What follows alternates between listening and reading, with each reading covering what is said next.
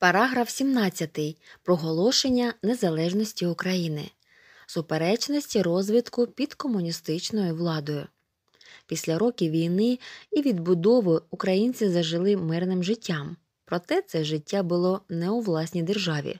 Українська Радянська Соціалістична Республіка УРСР була складовою СРСР. Радянські керівники у своїх діях не зважали на інтереси українців та України. Так само не враховувалися інтереси і інших народів, що жили в СРСР. Однак республіка розвивалася, будували нові підприємства, відновлювали міста і села. Значні досягнення мали наука і техніка. Українські вчені зробили чимало наукових відкриттів у різних галузях. Саме в Україні було створено один із перших комп'ютерів у світі. В Україні виготовляли космічні ракети, супутники, вантажні літаки, великі сучасні судна тощо, які вважали одним із найкращих у світі. Повільно зростав добробут народу, підвищувався і освітній рівень громадян. Станом на кінець 1970-х років кожен мав право і обов'язок здобути середню освіту. Усі громадяни мали роботу, користувалися безкоштовною медициною та різними соціальними послугами. Значна частина громадян отримувала від держави безкоштовне житло, допомогу на відпочинок та виховання дітей тощо. Водночас спілкування з зовнішнім світом було вкрай обмежене. Те, що відбувалося межами СРСР, подавалося через державне телебачення, пресу у вкрай спотвореному вигляді. Влада чітко визначала, що потрібно знати громадянам, а що ні. За поширення іншої думки переслідували та карали ув'язненням. Крім того, було схвалено постанову про необов'язковість вивчення української мови в школі. У вищих навчальних закладах України навчання здійснювали російською мовою. Скорочувалась кількість українських шкіл, україномовних газет, журналів, фільмів тощо. Розмах русифікації республіки досяг значних меж.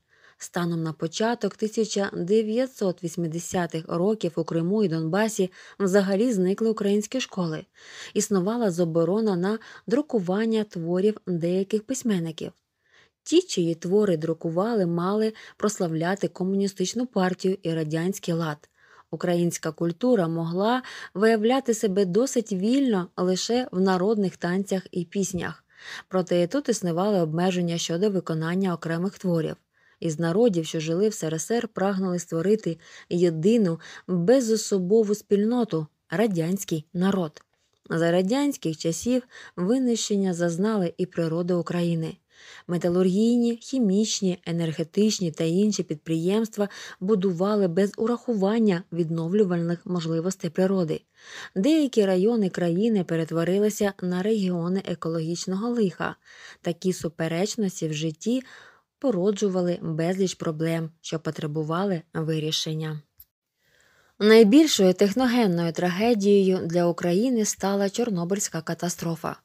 26 квітня 1986 року на Чорнобильській атомній електростанції стався вибух, що зруйнував четвертий блок із ядерним реактором.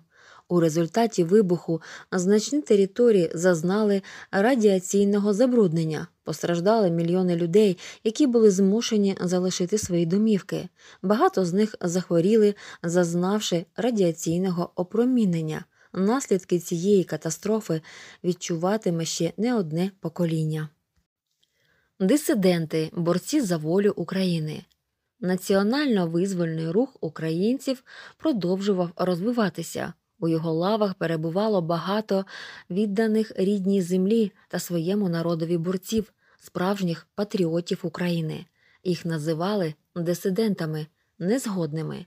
Вони не погоджувалися з тогочасним станом речей та залежністю України. Дисиденти свідомо відмовилися від насильницьких методів боротьби, розуміючи, що в існуючих умовах слово сильніше за зброю.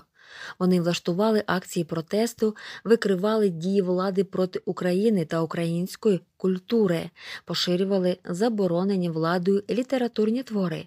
Дисиденти вимагали від владної верхівки діяти в межах Конституції та дотримуватися визнаної нею Декларації прав людини, яку в 1948 році ухвалила ООН. Комуністична влада не могла миритися з такими діями дисидентів. Їх заарештовували та звинувачували в злочинах, яких вони не чинили. Не маючи доказів злочинної діяльності, влада направляла дисидентів на примусове психіатричне лікування. Головною метою було ізолювати дисидентів від суспільства. Проте ці люди знаходили способи поширювати правдиву інформацію, повідомляли про злочини влади за кордон. Багато відомих представників дисидентського руху так і не дожили до часів незалежності України, за яку боролися. Так за гратами загинули талановитий київський літератор, перекладач Марченко, поети Стус, Литвин та інші. Крім названих осіб, значний внесок у національно визвольну боротьбу зробили такі діячі, як Чорновіл, Руденко, Світличний, Лук'яненко, Хмара, Григоренко, Тихий та інші. Хоча рух дисидентів було розгромлено, і більшість його учасників потрапили до в'язниць або опинилися за кордоном, він зумів об'єднати дві хвилі боротьби українців за незалежність збройну боротьбу УПА і ту, яка домоглася незалежності України. Здобуття Україною незалежності Станом на середину 1090-х років Радянський Союз, у складі якого перебувала Україна, опинився в глибокій кризі. Вона стосувалася всіх сторін життя суспільства. Прагнення змін охопило все суспільство та навіть керівництво СРСР. Однак спроба нового партійного радянського керівництва на чолі з Михайлом Горбачовим дещо покращити життя країни призвела до пробудження національних почуттів народів, об'єднаних у Радянському Союзі. Про своє право на відновлення власної держави заявили й українці. На чолі цієї боротьби знову були українська інтелігенція і студентство. Першим їхнім успіхом стало прийняття в 1989 році закону про мову, який проголошував українську мову державною.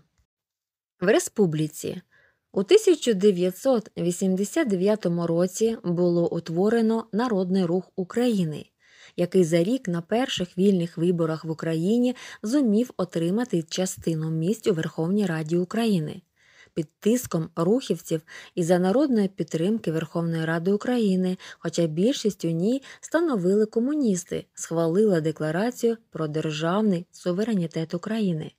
Однак були сили, яких не задовольняв такий хід подій. Вони стояли за збереження життя у СРСР.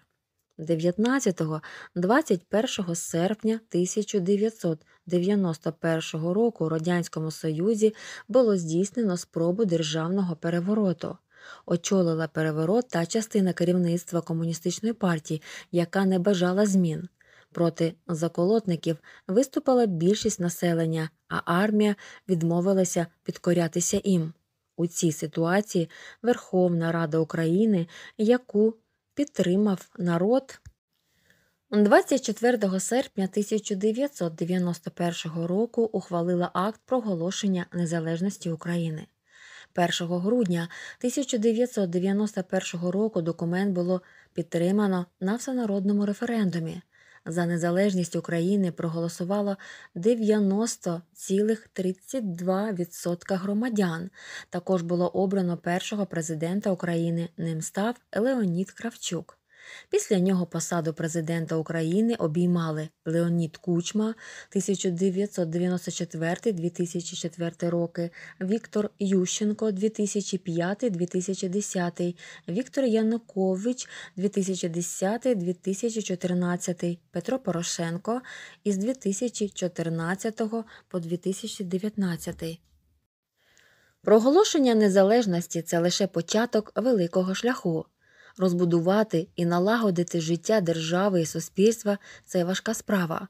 Потрібно було ухвалити багато законів, налаштувати систему влади, модернізувати економіку, налагодити співпрацю з країнами світу.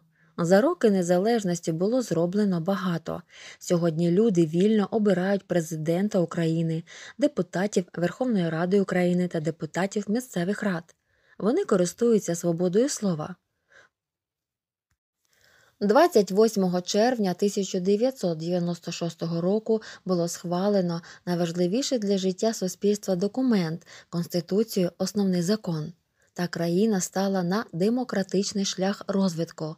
Однак цим важливим інструментом налагодження відносин між людьми треба було ще навчитися користуватися.